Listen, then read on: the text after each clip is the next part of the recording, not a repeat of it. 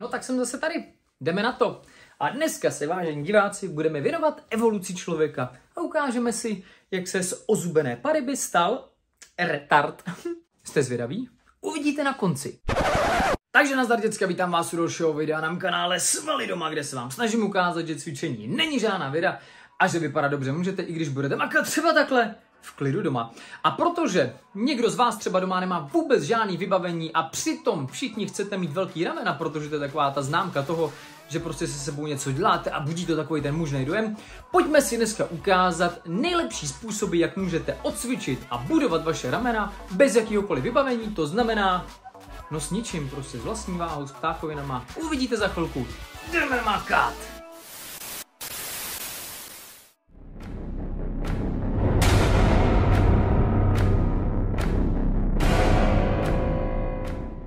Začátek tady toho videa bych určitě vypíchnul to, že rameno je jedním z nejsložitějších a nejkomplikovanějších kloubů našeho těla, protože má na starosti spoustu pohybů, nebo umožňuje spoustu pohybů a šípaže, ať už je to různý předpažování, upažování, zapažování, kroužení, rotace té vaší paže a podobně, tak je samozřejmě kvůli tomu i náchylný na zranění. Kromě těch hlavních partí toho ramenního eh, pletence, těch svalů toho ramena, jako je přední, střední a zadní delta, to rameno obsahuje taky hlubší vrstvy nějakých svalů a to jsou svaly, které jsou většinou pomocní, které právě mají na starosti ty rotace toho rameni a který udržují to rameno v nějaký stabilizovaný a optimální pozici. A tady ta soustava těch hlubších svalů a šlach je známá jako rotátorová manžeta, která se většinou právě u vašeho nevhodného tréninku nejčastěji zraní. Pokud doma najdete jednoruční činky nebo alespoň posilovací gumu, tak posilování těch ramen pro vás nebude žádný problém, protože ve spoustě předchozích videí jsme si ukázali nepřeberní množství cviků, ať už s jednoručkama nebo s expanderem,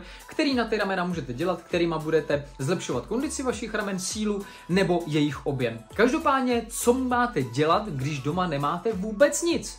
No samozřejmě i pro ty z vás tady mám nějaké řešení, protože sám jsem na začátku svého cvičení neměl vůbec nic a musel jsem se dost často vystačit jenom třeba s vlastní váhou nebo s nějakýma provizorníma náčiníma. A proto si dneska ukážeme cviky, které můžete dělat bez jakéhokoliv vybavení nebo minimálně s tím, co doma všichni určitě najdete a díky kterým procvičíte veškeré hlavní části toho vašeho ramenního pletence. Takže se pořádně rozehřejte. Tady u toho videa to platí dvojnásob, protože jak jsme si už řekli na začátku, to rameno je velice náchylný na to zranění, takže se opravdu důkladně rozehřejte. Rozhodně bych vám doporučil procvičit a protáhnout rotátory toho vašeho ramenního kloubu a to třeba tady těma jednoduchýma cvikama, který můžete dělat buď bez jakýhokoliv zatížení, anebo třeba s nějakýma lehkýma kotoučkama, nebo nějakou lehkou flaškou, nebo třeba, že si vezmete do ruky nějaký zrní nebo rejži, nebo já nevím, to je úplně jedno. A pojďme se vrhnout na ten první cvik nebo první partii, to je úplně jedno. Prostě jdeme na to.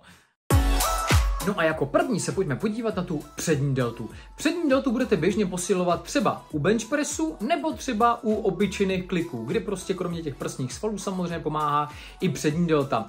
Ideálním cvikem na tu přední deltu bývají tlaky nad hlavu, ať už s nějakou velkou činkou, nebo klasicky s jednoručníma činkama, který jsme si tady ukazovali už milionkrát. Pokud ovšem doma ty jednoruční činky nemáte, můžete to dělat naprosto jednoduše jenom s vlastní váhou.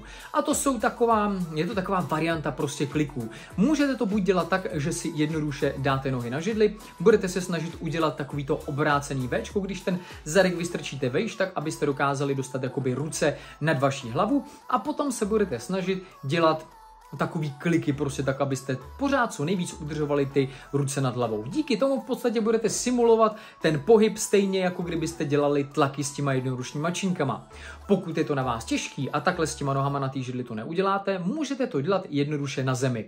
A tam potom zase máte několik možností. Buď to můžete dělat tak, že budete na špičkách, anebo pokud je to na vás na těch špičkách těžký, můžete to dělat dokonce i v kleče. U obou tady těch variant, kdy to děláte na té zemi, tak bych vám doporučil, abyste ty ruce dali poměrně dost dopředu před sebe. Díky tomu je dostanete do té pozice, která je podobná tomu tlaku nad tou hlavou a potom se budete jakoby snažit tam zasouvat jakoby tím směrem právě k těm vašim dlaním. Díky tomu budete posilovat právě ty ramena. Můžete u toho výrazně cítit, že kromě těch předních delt vám tam pojedou i ty střední delty a já tam u toho i dost cítím právě i ty zadní delty. Dlouho jsem tady ten cvik nedělal a teď, jak jsem vám ho tam ukazoval, tak jsem u toho i ty zadní delty cítil taky. Takže můžete vidět, že tady ten cvik vám bude posilovat nejenom ty přední delty, ale úplně celý ten ramenní sval nebo celý to rameno, stejně jako kdybyste dělali nějaký tlaky nad hlavu. Geniální, rozhodně pokud doma nic nemáte, tady to je výborný cvik, který nevynechávejte. No a teď tady máme ty střední delty. Střední delty, které jsou velice důležitý, pokud chcete mít to velký V, chcete mít ty široký ramena, protože ty střední delty prostě jsou nejvíc vidět ze předu, že máte široký. Takže pochopitelně vám o ně jde, já to chápu, mě o ně taky jde, no, akorát, že mi to moc nejde. Ale to je jedno. Každopádně vy ty střední delty budete nejčastěji posilovat, ať už s jednoručníma činkama, nějakou formou upažování, anebo klidně jako upažování s expanderem, s posilovací gumou. Jednoduše, eh, je to jednoduchý cvik a hm, znáte ho určitě úplně všichni. Pokud ale zase doma nemáte vůbec nic, můžete to upažování nahradit několika způsobama. Nejjednodušší způsob, jak to upažování s těma činkama můžete nahradit, je to, že si prostě jednoduše do ruky vezmete cokoliv jiného, ať už jsou to nějaký PET flašky, anebo třeba já jsem teď momentálně našel doma nějaký dvě vomáčky na špagety, takže to můžete dělat i tady tím způsobem. U každopádně, u toho upažování, ať už doma tyčinky máte nebo nemáte, je to úplně jedno, byste měli vždycky zvolit takovou váhu a takový závaží, abyste v té horní pozici dokázali chvilku vydržet.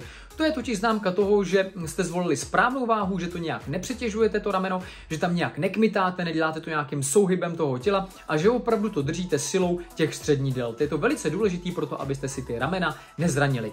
Pokud doma takhle nic nenajdete, ale máte doma třeba ručník, protože já věřím tomu, že když vylezete z vany, tak se asi utíráte a ne do trička, ale do ručníku, tak můžete dělat cvik, který je izometrický, protože ono to posilování těch svalů nefunguje jenom izotonickýma cvikama, kdy se mění dílka toho svalového vlákna, ale můžete ty svaly posilovat i izometrickýma cvikama, kdy se nemění dílka svalového vlákna, ale mění se napětí v tom svalu.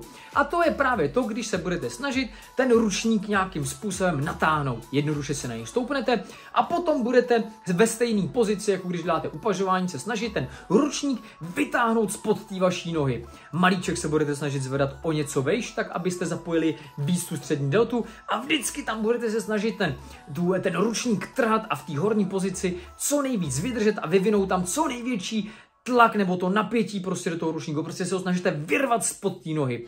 Když takhle uděláte vždycky když v té horní pozici vždycky několik vteřin vydržíte, uvolníte a uděláte to znova, takhle třeba desetkrát, ucítíte během chvilky, jak vám tam ta střední delta hoří a že opravdu nenadarmo se říká, že tady ty izometrické cviky byste do toho vašeho tréninku měli zařazovat. Výborný!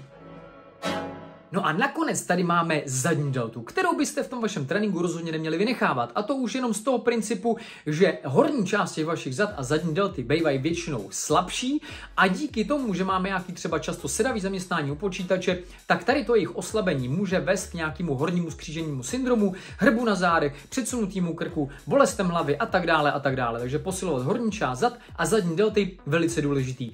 Můžete to standardně dělat zase upažování předklonu, ať už s jednoručníma činkama, anebo třeba ve stoji s posilovací gumou. Každopádně zase, když tady to nemáte, můžete si to vynahradit jednoduše vlastní váhou. Je to velice jednoduchý cvik, který bych určitě doporučil obzvlášť začátečníkům. Dokonce ho dávám i svým klientům do tréninkových plánů, protože je to velice jednoduchý cvik, kterým budete celou tu horní část vašich zad velice efektivně posilovat a zlepšovat její kondici. Lehnete si na záda, zapřete se loktama o zem a budete se snažit zvednout tu horní část těch vašich zad od té země. To budete dělat právě trapézovými svalama, zadníma deltama a celýma horníma zádama.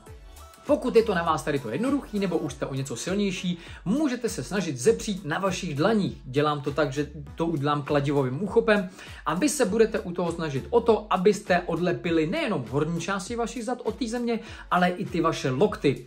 A když té horní pozici chvilku vydržíte, můžete cítit, že tam celá ta horní část zad totálně kvílí blahem. Teda ona kvílí blahem, ale vy kvílíte bolestí, protože je to tak náročný cvik, že se to hodí i pokročilým cvičencům a pokud doma nic nemáte, rozhodně to na ty vaše zadní delty a horní záda zařazujte. Uvidíte, jak se z vás během tady toho cviku stane takový trošku uhoříček. Tak a je to, děti moje, díky cvikům, který jsme si tady ukázali, už budete mít to rameno procvičený a vybudovaný úplně ve všech jeho oblastech, ve všech jeho částech a budete ho mít krásně plný a s 3D tvarem. Zároveň velký ramena samozřejmě budují tu horní hranu toho vašeho Bčkového tvaru těch zad, takže pokud vám jde o nějaký Bčkový tvar těch zad, tak samozřejmě mít velký a široký ty ramena je jedním z tím základů a proto bychom taky měli u toho Bčka, u toho budování toho Bčka začínat právě od toho vršku, kam samozřejmě patří i ty vaše ramena. Čím budete mít větší ty střední delty, tím samozřejmě budete širší. No, je to celkem logický, že jo. Každopádně u toho tréninku těch ramen, ať už takhle s tou vlastní váhou nebo s těma omezenýma pomůckama, které jsme tady ukázali, nebo s činkama, s uh, posilovací gumou, to je úplně jedno.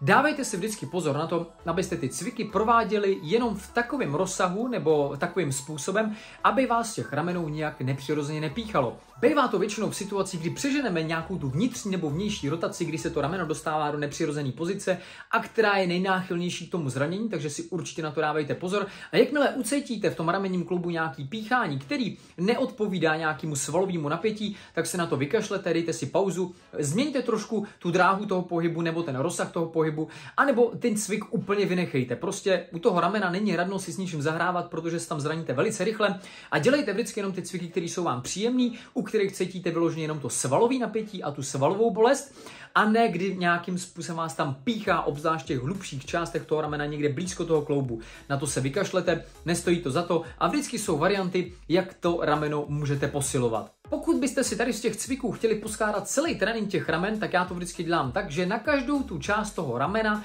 dělám vždycky e, ideálně jeden cvik a od každého toho cviku jezdím čtyři série plus jednu zahřejvací. To znamená, že jedu čtyři série na tu přední deltu, čtyři série na tu střední deltu a čtyři série na tu zadní deltu. Tím, že to rameno je poměrně e, komplexní kloub e, nebo komplikovaný kloub, tak většinou u žádného z těch pohybů nemůžete ty jednotlivé hlavy, e, ty deltový úplně vyřadit, takže vždycky tam částečně budou pracovat taky. Takže proto si myslím, že stačí na každou tu část, na každou tu deltu cvičit čtyři ty série. Pokud už jste začátečníci nebo to rameno nemáte v úplně v optimální kondici, určitě dělejte nějaký určitý počet opakování. Začínejte třeba na nějakých 6.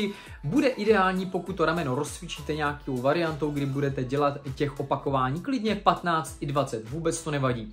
Postupně můžete začít přejíždět na série do vyčerpání a snažit se snižovat ten eh, počet těch opakování. To znamená, abyste se udržovali třeba řekněme mezi 6 a 12, který nejlíp fungují na tu hypertrofii, na to budování objemu toho vašeho svalu. Pochopitelně, kdybyste si s tím vaším cvičením nebo i stravováním pro tu vaši nejlepší formu nevěděli rady, určitě naklikejte sevalidoma.cz, kde na mě najdete kontakt a kde najdete úplně všechno, co k té vaší nejlepší formě potřebujete. No ale to už je pro to dnešní video všecko. Já doufám, že se vám to líbilo, že vám to pomohlo. Až tohle video dokoukáte, lajkujte to, komentujte to, sdílejte to. Nezapomeňte hlavně odebírat tenhle kanál Svalidoma, protože mě tak budete prostě dobrý, protože svaly doma, to je nejlepší kanál na cvičení doma, to ví už i ten váš elektrický úhoz. Mějte se krásně, uvidíme se u nějakého dalšího videa a těpéro! Chcete důkaz, že všechen život pochází z moře? Tak dělejte tenhle cvik pořádně a probuďte v sobě elektrického úhoře. Tomu se říká cukaturos rosolos. Nebolí. Každopádně, děcka, to cvičení s těma vomáčkama bych úplně tak nepřeháněl. Dokážete... S... Thank you.